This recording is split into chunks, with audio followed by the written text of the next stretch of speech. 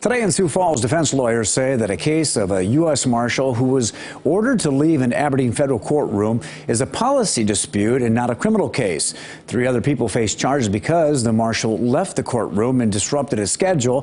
Well, the Marshal had refused to say whether she was vaccinated against COVID 19. And since the court's policy is to only let vaccinated people work in the courtroom, she was ordered to leave. The prosecution says that a criminal charge is justified. A federal judge will review the arguments and issue a decision before the December 14th trial date. A KELOLAND.com original story by Ray Yost has more details on today's court hearing. All right.